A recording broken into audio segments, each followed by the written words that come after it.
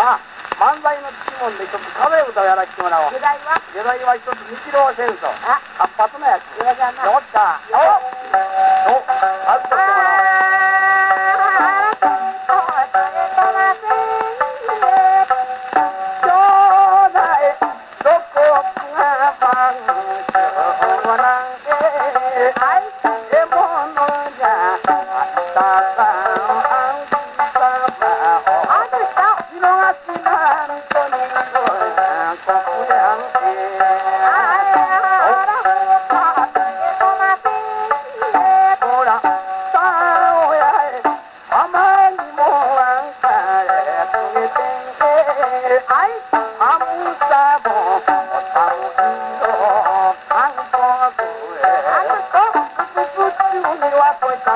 く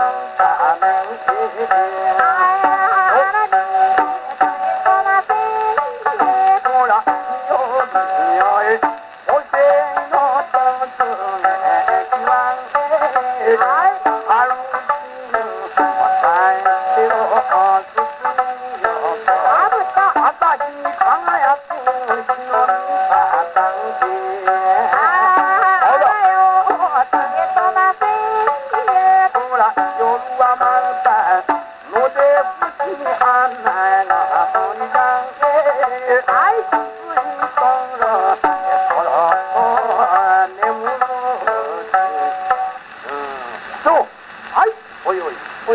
なんてないや、まんは。えお前ちょっと兵隊の代わりになお腹引いてあるかいや。いや、女子の兵隊あってもなかっても一時は間に合わせや。それはどうもしてな、なってもらわなしょうがない。あんたは？ああんたも引いてるか？あいやいや、わしはやっぱり兵隊の上官やな。ちょっと私は？あんたは新生やいな。やー、偉いやつやな。ちょっと顔が江戸やこっちゃな。うよろしゃ。ーん、これまで上官が回りしたとならば、お前部長に立っておって居眠りをしておったね。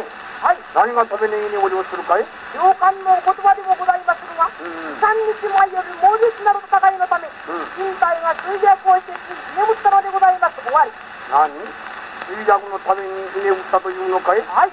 猛烈なる戦いはお前一人じゃないじゃないか。ああ？あまたの日、この上官としてもやはり猛烈なる戦いをして、身体も衰弱に及んでおるのは誰しもの勝手やろう。あ、外見の暁には手柄をなして、一身上を胸に輝かして故郷へに地を飾って帰ることってのはわきまえじゃおらんか。はい。うん？貴様がこれに一人立っておるがために、大礼なる刑事が気を緩めて楽々と寝ておるじゃないか。はい。お前が居眠りをする際、敵が一緒に新軍の時には何をもって軍隊に報告するか。はい。いい三章を持って報告します。バカなこと言え。お前一人がために大礼なる刑事が戦争を止めなくちゃならんことができるじゃないか。はい。うん貴様らのようなバカな軍人が我が部下にあるかと思えば、この上官も自己信頼で耐えられない。バレバレバレ。うん全く眼水がこぼれる。眼水とは？眼水はつまり涙や。涙。涙は目の水やさかいな。な、イオン、パクリン、なんじゃこれは。靴の成り川の音。